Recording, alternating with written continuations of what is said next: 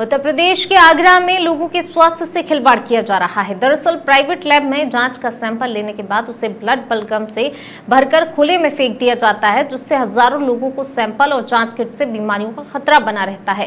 वहीं ग्रामीणों ने इसकी जानकारी कागरोल स्वास्थ्य केंद्र को दी है जिसके बाद मामले में जाँच पड़ताल शुरू कर दी गई है। आगरा से पवन तोमर की रिपोर्ट। मेरे संज्ञान में आया था कुछ सैंपल की जो यूज़ वायलें हैं। जी।